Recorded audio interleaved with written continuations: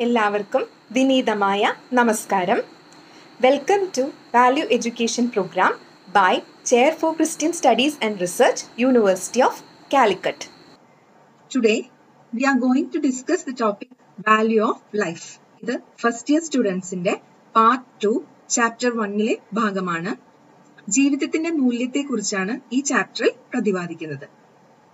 എന്താണ് ജീവിതത്തിന്റെ മൂല്യം? When you arise in the morning, think of what a precious privilege it is to be alive, to breathe, to think, to enjoy, to love.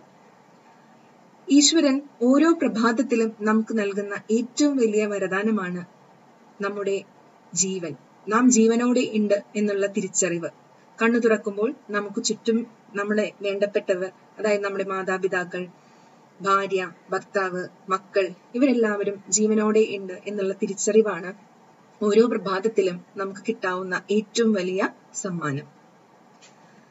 Life is precious you are God's diamond and you are precious beautiful and unbreakable നിങ്ങൾ ഓരോരുത്തരും ദൈവത്തിന്റെ വിലയേറിയ വജ്രാഭരണമാണ്. നിങ്ങൾ ഓരോരുത്തരും ഓരോരുത്തരുടെ ജീവനും വളരെ വിലപ്പെട്ടതാണ്. എന്താണ് നമ്മുടെ ജീവിതത്തിന്റെ മൂല്യം? വരൂ നമുക്കൊരു ചെറിയ വീഡിയോ കാണാം. What's the value of life? A little boy went to see his old grandpa and he asked, What's the value of life? The grandpa gave him one shiny stone and said, Find out the value of this stone, but don't sell it. The boy took the stone to an orange vendor and asked him what's the cost would be. The orange vendor saw the shiny stone and said, You can take 12 oranges and give me the stone.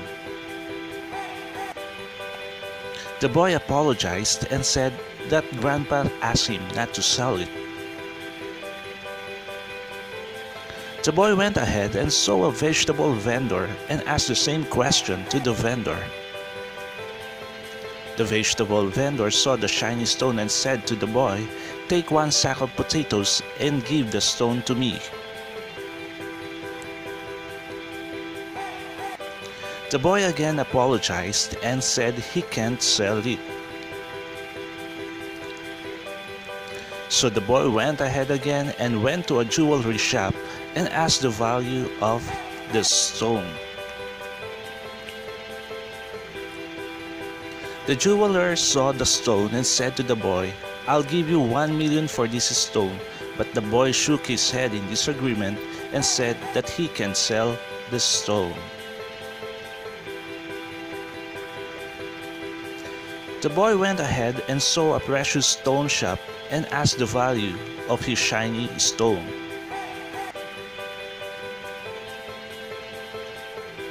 When the precious stone vendor saw it, he was left in awe, and on that moment, he knew that it was a big ruby stone that the boy is holding.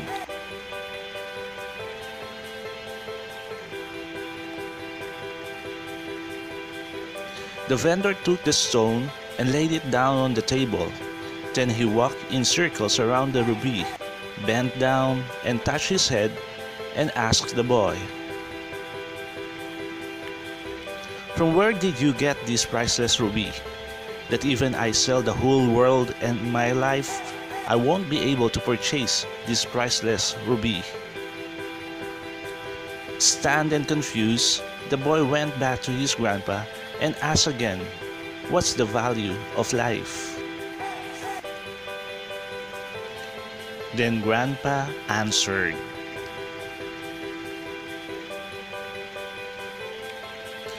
The answers you got from the orange vendor, the vegetable vendor, the jeweler, and the precious stone vendor explain the value of life. You may be a precious stone, even priceless, but people will value you based on their financial status, their level of information, their belief in you, their motive behind entertaining you, their ambition, and their risk taking ability.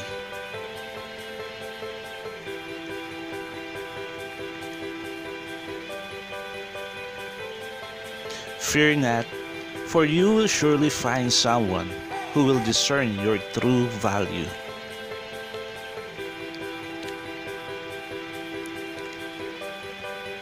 Respect yourself, believe in yourself, stay focused, don't sell yourself cheap. You are unique. No one can replace you. എത്ര മനോഹരമായിട്ടാണ് ജീവിതത്തിന്റെ മൂല്യത്തെക്കുറിച്ച് ആ മുത്തച്ഛൻ ചെറുമകന് പറഞ്ഞു കൊടുത്തിരിക്കുന്നത് നിങ്ങളുടെ ഓരോരുത്തരുടെയും ജീവിതത്തിന്റെ മൂല്യം തിരിച്ചറിയാവുന്ന ഒരാളെങ്കിലും നിങ്ങളുടെ ജീവിതത്തിൽ ഉണ്ടാവുക എന്നതാണ് ഏറ്റവും വലിയ നേട്ടം അതെ നമ്മൾ ഓരോരുത്തരും ഭാഗ്യവാന്മാരാണ്. കാരണം നമ്മുടെ ജീവിതത്തിന്റെ മൂല്യം നമ്മളെക്കാൾ നന്നായി അറിയാവുന്നത് നമ്മുടെ പാരൻസിനാണ് അതെ നമ്മുടെ family. Family the sphere of life. ഏറ്റവും വലിയ സമ്പത്താണ് നമുക്ക് നമ്മുടെ ഫാമിലി എന്ന് പറയുന്നത്. ഫാമിലിയെ കുറിച്ച് ഒരുപാട് ഡെഫിനിഷൻസ് നമ്മുടെ ടെക്സ്റ്റിൽ പറഞ്ഞിട്ടുണ്ട്. ഇനി നമുക്ക് അതിലേക്ക് കടക്കാം. Definitions of family A family is a fundamental social group in society, typically consisting of one or two parents and their children. മാതാപിതാക്കളും അവരുടെ കുട്ടികളും അടങ്ങുന്ന ഒരു അടിസ്ഥാന ഗ്രൂപ്പ് അതിനെയാണ് ഇവിടെ ഫാമിലി ആയിട്ട് നിർവചിച്ചിരിക്കുന്നത് next two or more people who share goals and values have long-term commitments to one another and reside usually in the same dwelling. അതായത് ലക്ഷ്യങ്ങളും മൂല്യങ്ങളും പങ്കിടുന്ന രണ്ടോ അതിലധികമോ ആളുകൾ പരസ്പരം ദീർഘകാല പ്രതിബദ്ധതയുള്ളവരും സാധാരണയായി ഒരേ വാസസ്ഥലത്ത് താമസിക്കുന്നു. അങ്ങനെയാണ് ഇവിടെ ഫാമിലിയെ നിർവചിച്ചിരിക്കുന്നത്. Next definition the collective body of persons who live in one house and under one head or manager or household including parents children and servants and the case may be, lodgers or boarders അതായത് ഒരു വീട്ടിൽ ഒരു കുടുംബനാഥന് കീഴിൽ താമസിക്കുന്ന ഒരു കൂട്ടം വ്യക്തികൾ.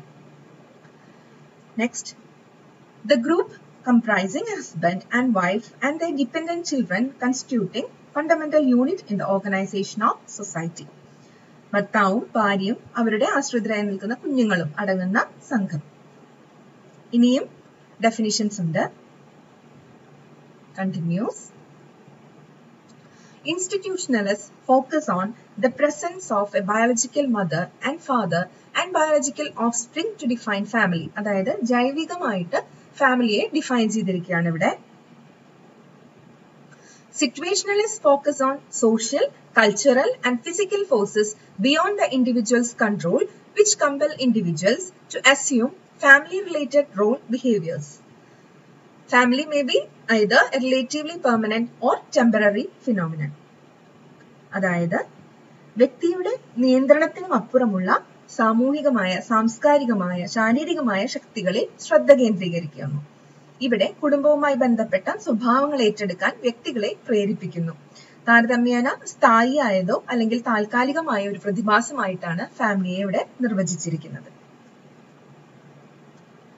Psychoanalysts focus on individual stage of development and unconsciousness needs in the needs in defining family.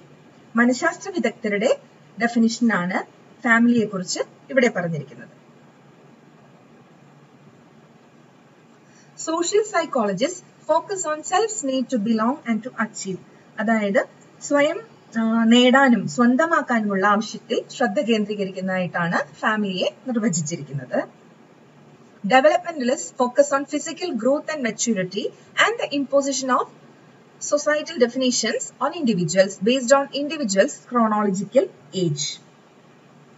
അതായത് ശാരീരികമായ വളർച്ചയിലും പക്വതയിലും വ്യക്തിയുടെ കാലക്രമത്തെ അടിസ്ഥാനമാക്കി വ്യക്തികൾക്ക് സാമൂഹിക നിർവചനങ്ങൾ അടിച്ചേൽപ്പിക്കുന്നതിൽ ശ്രദ്ധ കേന്ദ്രീകരിക്കുന്ന ഒന്നായിട്ടാണ് ഫാമിലിയെ ചിത്രീകരിച്ചിരിക്കുന്നത് ഇനി economics they focus on production and consumption activities. That is, they are telling family is a production and consumption unit.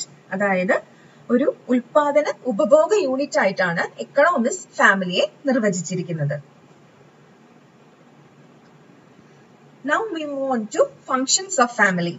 What are the functions of family? There are mainly three functions. Forming a community of persons, serving life, and finally participating in the development of society ഓരോന്നും നമുക്ക് നോക്കാം. ആദ്യമായി form a communion of persons എങ്ങനെയാണ് നമ്മൾ അങ്ങനെ ഒരു കൂട്ടായ്മ ഉണ്ടാക്കുക? അതിന് എന്തൊക്കെ വേണം? ആദ്യമായി close bond between family members we have to create a close bond between family members അതിനെന്താണ് വഴി? അതിനൊരേ ഒരു വഴി എന്ന് പറയുന്നത് നമ്മുടെ സമയമാണ്. അവർക്ക് വേണ്ടി നീക്കി വെക്കാവുന്ന നമ്മുടെ സമയം. അതായത് ഒരു ഫാമിലി ടൈം എന്നും നമ്മൾ നമ്മുടെ ജീവിതത്തിൽ കീപ്പ് ചെയ്യാം കമ്മ്യൂണിക്കേഷനിൽ കൂടി മാത്രമാണ് നമുക്ക് ഇങ്ങനെ ഒരു ബോണ്ട് അല്ലെങ്കിൽ ഒരു relationship between family members maintain ചെയ്ത് പോകാൻ പറ്റും അല്ലെ? നമ്മുടെ അച്ഛനോടും അമ്മയോടും സംസാരിക്കാനുള്ള സമയം നമ്മുടെ കൂടപ്പിറപ്പുകളോട് സംസാരിക്കാനുള്ള സമയം നമ്മുടെ മുത്തച്ഛനോടും മുത്തശ്ശിയോടും സംസാരിക്കാനുള്ള സമയം ഇതെല്ലാം നാം കണ്ടെത്തിയേ പറ്റൂ. ഒരിക്കലും സമയം നമുക്ക് തിരിച്ചു കിട്ടാവുന്ന ഒന്നല്ല. അപ്പോൾ നമ്മുടെ ഫാമിലിക്ക് വേണ്ടി ഉള്ള ഒരു സമയം എന്നും നമ്മുടെ ജീവിതത്തിൽ മാറ്റിവെക്കണം അത് മാത്രമാണ് ഇങ്ങനെ ഒരു ബോണ്ട് ഫാമിലി മെമ്പേഴ്സിനിടയിൽ ഉണ്ടാവാനായിട്ട് നമ്മളെ സഹായിക്കുന്ന ഒന്ന്. രണ്ടാമതായി പറയുന്നത് സെൽഫ്ലെസ് ലവ് അതെ നിസ്വാർത്ഥമായ സ്നേഹം. എന്താണ് നിസ്വാർത്ഥമായ സ്നേഹം? നാം തിരിച്ചൊന്നും പ്രതീക്ഷിക്കാതെ സ്നേഹിക്കുക. അതായത് മാതാപിതാക്കൾ അച്ഛനമ്മമാർ നമ്മളെ വളർത്തുന്നത് എങ്ങനെയാണ്? അല്ലെ നമ്മളിൽ നിന്ന് ഒന്നും അവർ പ്രതീക്ഷിക്കുന്നില്ല. നല്ല മക്കളായി നല്ല നിലയിൽ വളർന്നു വരണം എന്നൊരു ആഗ്രഹം മാത്രമാണ് അവരുടെ മനസ്സിലുള്ളത്. അപ്പൊ അതുപോലെ നമ്മൾ ഓരോരുത്തരും സ്നേഹിക്കേണ്ടത് ഈ നിസ്വാർത്ഥമായ സ്നേഹത്തിലൂടെയാണ് നമ്മൾ മറ്റുള്ളവരെ സ്നേഹിക്കേണ്ടത്. ഇതെല്ലാം ചെയ്യുമ്പോൾ family becomes a communion of persons അപ്പോൾ close bond between family members and selfless love will lead to a communion of persons okay അടുത്തതായി serve life means procreation of children അതായത് പ്രത്യുൽപാദനം. തലമുറകളിലൂടെയാണ് കുടുംബം നിലനിന്ന് പോകുന്നത്. അല്ലെ? നമ്മുടെ കുഞ്ഞുങ്ങളിലൂടെ നമ്മുടെ കുടുംബം നിലനിന്ന് പോകുന്നു. ദെൻ വാല്യൂ ഇൻ ചിൽഡ്രൻ അല്ലെ? കുഞ്ഞുങ്ങളെ നമ്മൾ ഓരോ ഇൻഡിവിജ്വൽ ആയിട്ട് പരിഗണിച്ചുകൊണ്ട് ഒരു മുതിർന്ന ഒരാൾക്ക് നമ്മൾ എന്ത് പരിഗണനയാണോ കൊടുക്കുന്നത് അതേ പരിഗണന നമ്മുടെ കുഞ്ഞുങ്ങൾക്കും നമ്മൾ നൽകണം. അവരുടെ വാക്കുകൾ ശ്രവിക്കാനും അവരുടെ അഭിപ്രായങ്ങൾ കണക്കിലെടുക്കാനും നമ്മൾ ശ്രദ്ധിക്കണം. സാധാരണ വീടുകളിൽ അച്ഛനും അമ്മയും അടങ്ങുന്ന ഒരു കുടുംബത്തിൽ അല്ലെങ്കിൽ ഗ്രാൻഡ് പാരന്റ്സ് ഒക്കെ ഉള്ള ഒരു കുടുംബത്തിൽ എപ്പോഴും കുട്ടികൾ ഓടി വന്ന് സ്കൂളിലെ വിശേഷങ്ങളും കോളേജിലെ വിശേഷങ്ങളും ഒക്കെ പങ്കുവെക്കാറുണ്ട്. അവർ വളരെ ശ്രദ്ധയോടെ കേട്ടിരിക്കുന്നതും കാണാം. അല്ലെ? അങ്ങനെ ഒരു ആശയവിനിമയം കുട്ടികളും പാരന്റ്സും അല്ലെങ്കിൽ മുതിർന്നവരും തമ്മിലുണ്ടെങ്കിൽ മാത്രമാണ് നമ്മുടെ കുടുംബം കെട്ടുറപ്പുള്ളതാവുള്ളൂ അപ്പൊ കുട്ടികൾക്ക് വേറെ ഒരാളെ ആശ്രയിക്കേണ്ട ആവശ്യം വരുന്നില്ല. Providing E children an environment of love and care കുട്ടികൾക്ക് വേണ്ട സ്നേഹവും ശ്രദ്ധയും പരിഗണനയും നൽകുക. നമ്മൾ പല പത്രങ്ങളിലും അതുപോലെ ന്യൂസുകളിലും ഒക്കെ വായിക്കാറുണ്ട്. കുട്ടികൾ പല രീതിയിൽ വഴിതെറ്റി പോകുന്നതായിട്ട് അതെന്തുകൊണ്ടാണ്? അതായത് മയക്കുമരുന്നിനും മദ്യത്തിനും ഒക്കെ അടിമപ്പെട്ടു പോകുന്നു. അല്ലെങ്കിൽ വഴി തെറ്റായ വഴികളിൽ സഞ്ചരിക്കുന്നു. ഇതിനെല്ലാം കാരണം നമ്മൾ ഇതിന്റെ വേരുകൾ തേടി പോകുമ്പോൾ നമുക്കറിയാൻ കഴിയുന്നത് നല്ലൊരു ഫാമിലി അല്ലെങ്കിൽ അങ്ങനെ ഒരു അറ്റ്മോസ്ഫിയർ ആ കുട്ടിക്ക് അനുഭവിക്കാൻ ഇടയുണ്ടായിണ്ടാവില്ല. അപ്പോ നമ്മുടെ കുഞ്ഞുങ്ങളെ പ്രൊട്ടക്ട് ചെയ്യേണ്ടത് നമ്മുടെ ഉത്തരവാദിത്തമാണ്. നമ്മളെ അവരെ നല്ല രീതിയിൽ വളർത്തണം. അതിനായി നമ്മുടെ സ്നേഹവും ശ്രദ്ധയും പരിഗണനയും അവർക്ക് യഥാസമയം നൽകണം. Then the final function is participating in the development of society. തീർച്ചയായും അത് ഏറ്റവും വലിയൊരു കാര്യമാണ് അല്ലെ? ഡെവലപ്മെന്റ് ഓഫ് സൊസൈറ്റി നമുക്കറിയാം നമ്മുടെ ഓരോ സൊസൈറ്റി എന്ന് പറയുന്നത് അതിന്റെ ഒരു ബേസിക് ഫൗണ്ടേഷൻ സ്റ്റോൺ എന്ന് പറയുന്നത് നമ്മുടെ ഫാമിലിയാണ് അല്ലെ? ദാറ്റ് ഇസ് നമ്മൾ ഒരു നല്ല രീതിയിൽ നമ്മുടെ മക്കളെ വളർത്തിക്കൊണ്ടുവന്നാൽ അതായത് നല്ലൊരു ഫാമിലിയിൽ നിന്ന് വരുന്ന ആൾക്കാണ് നല്ലൊരു സൊസൈറ്റിയിലേക്ക് കോൺട്രിബ്യൂഷൻ ചെയ്യാൻ കഴിയുള്ളൂ. അപ്പോൾ പാരന്റിങ് എന്ന് പറയുന്നത് അത് വളരെ വിലപ്പെട്ട ഒരു എഡ്യൂക്കേഷൻ ആണ്. വളരെ ഡെലിക്കേറ്റ് ആണ്. നമ്മൾ വളരെ ശ്രദ്ധയോടെ കൈകാര്യം ചെയ്യേണ്ട ഒന്നാണ് പാരന്റിങ് എന്ന് പറയുന്നത്. അല്ലെ? ഏറ്റവും ചെറിയൊരു ജോലിയല്ല. അപ്പൊ അച്ഛൻ എന്താ ജോലി? അല്ലെങ്കിൽ അമ്മയ്ക്ക് എന്താ ജോലി എന്ന് പറയുമ്പോൾ അമ്മ ഒരു ഹോം മേക്കർ ആണെന്ന് പറയും. നമ്മൾ ഒരിക്കലും അതൊരു വില കുറച്ച് കാണുന്ന ഒരു ജോലി ആവരുത്. ഏറ്റവും ടഫസ്റ്റ് ആയിട്ടുള്ള ഒരു ജോബാണ് അല്ലെ? ഒഴിവുകളില്ല. ട്വന്റി ഫോർ ബാർ സെവൻ ആയിട്ട് വർക്ക് ചെയ്യുന്ന ഒരാളാണ്. അപ്പോൾ എന്തിനു വേണ്ടിയിട്ടാണ് അത് ചെയ്യുന്നത്? നമ്മുടെ നല്ല നമ്മളെ മക്കളെ നന്നായി വളർത്തി കൊണ്ടുവരാൻ വേണ്ടിയിട്ടാണ്. നന്നായി വളർത്തി കൊണ്ടുവന്നാൽ മാത്രമേ നാളെ സമൂഹത്തിന് അവൻ അല്ലെങ്കിൽ അവൾ ഒരു മുതൽക്കൂട്ടാവുകയുള്ളൂ. The development of a country has to start at the foundation of the society. That means family. Then the famous saying by Pope John, the family is the first essential cell of human society. Okay അപ്പൊ നല്ലൊരു നാളേക്ക് വേണ്ടി നല്ലൊരു ജനറേഷനെ നമുക്ക് വാർത്തെടുക്കാം The family remains the basic unit of society and the first school in which children learn the human, spiritual, and moral values which enable them to be a beacon of goodness, integrity, and justice in our communities. By these words, I conclude the topic Value of Life. Thank you.